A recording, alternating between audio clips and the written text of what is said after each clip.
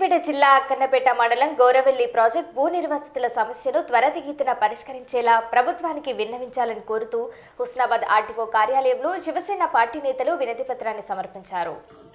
Gouravelli project భూ నిర్వాసితులు గత ఆరు రోజులుగా నిరసన కార్యక్రమాలు చేయడం జరుగుతుంది.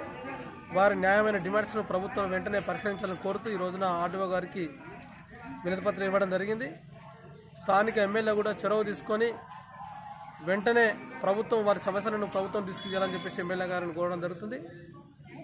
న్యాయమైన డిమాండ్స్ వాళ్ళు అడగడం అదేవిధంగా ఏమాత్రం ఆలస్యం చేయకుండా ఇప్పటికీ ఆరు రోజులు గడుస్తుంది. చలిలో బాగా ఇబ్బంది పడుతున్నారు. అదేవిధంగా వారు భూ నివాసులు త్యాగాలు చేసినారు. ఈ ప్రాంత రైతాంగం కోసం వాళ్ళు చేసిన త్యాగాలను ప్రభుత్వం మర్చిపోద్దని చెప్పేసి ప్రభుత్వాన్ని విజ్ఞప్తి చేస్తున్నాం. అదేవిధంగా ప్రభుత్వం వెంటనే చొరవ తీసుకొని వారి న్యాయమైన డిమాండ్స్ పరిష్కరించాలని చెప్పేసి శివసేన పార్టీ నుంచి కోరుతున్నాం.